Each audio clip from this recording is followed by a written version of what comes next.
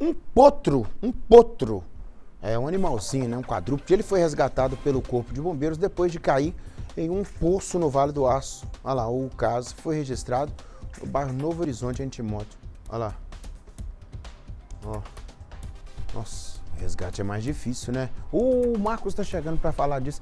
É, Marcos, está lá o, a cisterna, o local aberto, lá o poço, o animalzinho não viu, né? Pisou em alguma folhagem lá, na vegetação, sei lá nem que, e caiu lá. Mas foi salvo, né, Marcos? Ô Nico, eu que sou apaixonado com animais, fiquei até feliz com o final dessa história quando né, me deparei com esse caso, né, estava me inteirando aqui para passar para os nossos telespectadores, né, porque teve um, final feliz aí é, por conta dessa queda desse potro e eu te conto como é que aconteceu. Bom, os, os bombeiros eles foram acionados por funcionários da Copasa que realizavam né, um serviço na Rua 60, no bairro Novo Horizonte, em Timóteo, e eles depararam né, que um animal havia caído dentro de um poço de 6 metros ali no bairro. Então eles acionaram os bombeiros e descobriram que era um potro.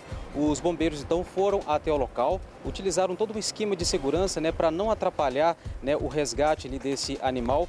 É, felizmente, olha só, teve água né, no, no, no, poço e o que acabou ajudando ali a amortecer o animal e que ele não teve né, danos generalizados, não teve e não sofresse né, os ferimentos. Então os militares eles montaram um esquema especial ali para não prejudicar esse animal, resgataram esse potro e esse potro acabou sendo devolvido ao proprietário e sem nenhum ferimento. Então, felizmente, esse potro, né, que caiu aí em uma cisterna no bairro Novo Horizonte, Timóteo, ele foi resgatado com vida e sem nenhum ferimento, Nico. Felizmente, né?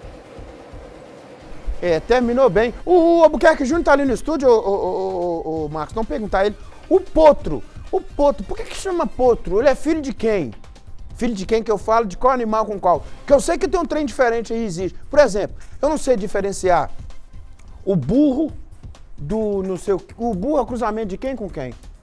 Ah lá, é, que, é você que fala que é da roça. Hã? O, o burro é cruzamento de não sei. Hein? Hein, Bebiano, você sabe isso aí? Ah, Bebiano, o DS, quando eu falava essas coisas, ele ia lá no Google e digitava quem é pai de quem. O potro é um filhotinho. É de, por que, que chama potro, Marcos? Pode pesquisar, se você souber, você fala agora, senão você fala depois. Sim, claro, com certeza. Vou pesquisar aqui para passar para os nossos tele telespectadores. É, o apresentador, dia de quarta-feira eu faço isso com os meus repórteres. O que, que, que, que é potro? Pesquisa aí, Felipe. Um, o potro é um equino de até um ano de idade, viu, Marcos? Segundo o Felipe Ribeiro, viu? Então, até um ano de idade ele é chamado de potro. Depois de um ano ele é chamado de quê, Felipe? Filhote não sei de quê. É, filhote de não sei de quê. Então esse, como não tinha um ano, é chamado de potro. É um não sei o quê, como chama? Você falou ele é o quê? Ele é um equino. Ele é um equino, ô Marcos, um equino com menos de um ano de idade. Aí, Marcos. Balão geral de quarta-feira tem essas misturas mesmo, Marcos. Diante você ficar olhando aí não. E eu faço pergunta difícil mesmo, que nem o Enem. Aí, o Marcos Lessa, ele é fera.